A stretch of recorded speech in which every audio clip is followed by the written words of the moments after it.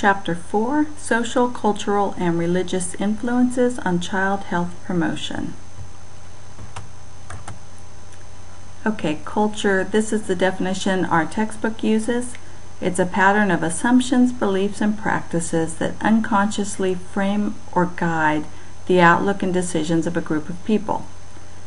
Culture does differ from race and ethnicity, uh, race and ethnicity being more biologic race being absolutely biologic, ethnicity usually uh, includes a little bit of self um, association with a group, but still you're talking more about biologic things. So social roles, this is part of culture.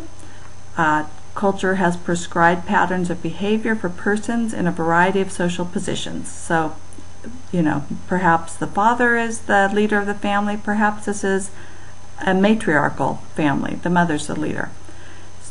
Second point, social groups consist of a system of roles carried out in primary and secondary groups.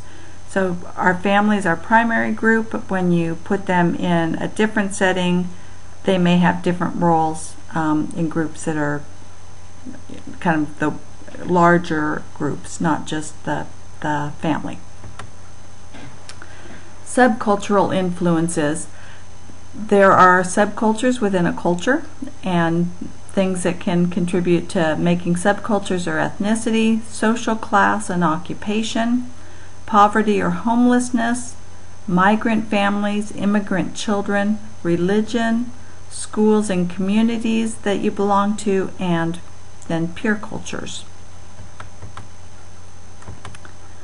Biculture. Some children are exposed to two or more cultures. Biculture really means they're comfortable in both.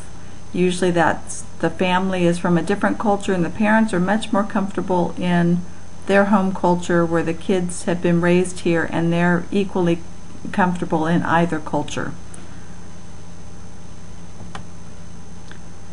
Cultural and religious influences on healthcare. Um, this susceptibility to certain health problems. We know that there are certain ethnic groups have higher incidence of certain illnesses, so there is a hereditary factor that predisposes children to certain illnesses. Um, some of them genetic illnesses, some of our inherited uh, problems, as well as just you know hereditary factors that make them more likely, more at risk for certain illnesses, and then socioeconomic factors. Poor kids uh, get sick more often and they get sicker. Um, customs and folkways, that's our alternative treatments that many families are going to use um, along with or in place of Western medicine. And then food customs.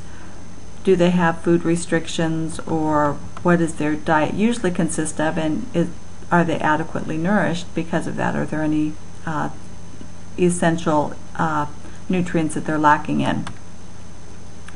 Here's a picture of some religious customs. Health beliefs and practices. Um, you should remember all of this from your transcultural class. Uh, the health beliefs, some people believe in natural forces. Some believe health is caused by supernatural forces, that there are spiritual forces that cause us to be well or ill, or that everything is in a balance and getting that balance out of balance is what causes illness. Um, so health practices, there are similarities among cultures regarding prevention and treatment of illness and prenatal influences often come from folklore. There's lots and lots of um, you know old wives' tales that have to do with children, childbirth, uh, pregnancy. Anyway, Okay, importance of culture and religion to nurses. Our book, as well as the BRN and everyone else, says we need nurses to be a little more aware of culture and to develop their cultural competence. And to realize we are part of a nursing culture. We are our own subculture that may be different than your patient's cultures. So we need to be aware of of that and those potential conflicts. And then even outside of that nursing culture, we all come from a culture and have our own cultural and spiritual beliefs and values, and we need to know what we believe so that we don't um, accidentally contradict or, or um, devalue uh, our patients' values without even realizing we've done it. So that the first step is always assessing your own values and beliefs and understanding yourself, that self-reflection. Which is what the conclusion is. Know your own values, your own biases. And then don't judge your patients and their families. They are sick, they're in the hospital. Perhaps there are some things that they could do um, that would be better health-wise for them, but we're pretty limited on how much we can affect them. Right now, let's get their child well and work with them. So if they want to include things that we wouldn't personally include, let's try and do that because our goal is to get their child well and to have them that family-centered care, to have them trust us and be part of the uh, the decisions of what's going to happen.